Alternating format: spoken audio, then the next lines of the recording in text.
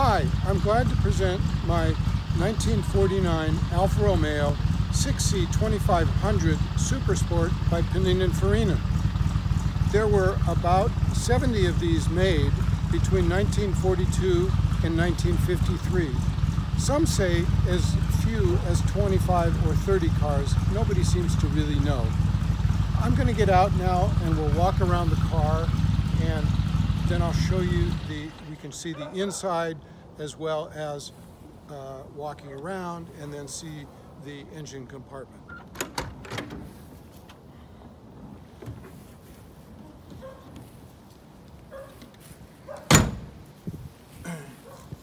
This car was originally bought by a toothpaste magnet in Milano in 1949. It remained in Italy for a period and we know that it appeared in New York in 1958. After that they lost track of it for a little bit and it reappeared in the mid 70s. From that point on there were two owners. It was purchased in the mid 70s in 47 boxes waiting restoration. That restoration never was made by the owner. 20 years later, he sold it to another individual in those boxes. That individual was going to restore it. Same story over again. And in 19, in 2017, excuse me, that owner sold it to a Eastern European individual who actually did the complete restoration and this I bought it from him and this is what we have now.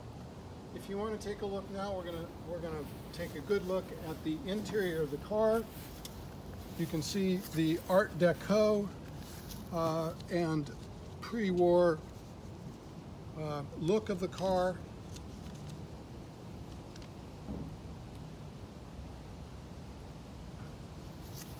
All of the original accoutrements that went along with it.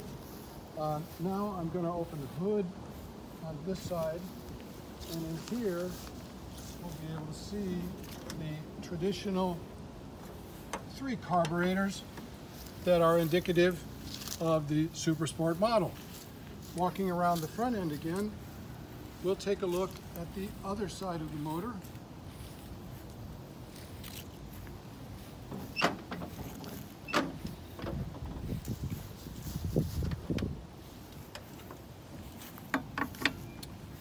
Here you can see the six cylinders or six spark plugs, excuse me, and the condition of the interior is really quite nice. Uh, interior of the engine compartment. And that's kind of the story of my Alfa Romeo. Uh, this is my fourth Alfa and it's my favorite ride as of 2020. Thanks for listening to my story.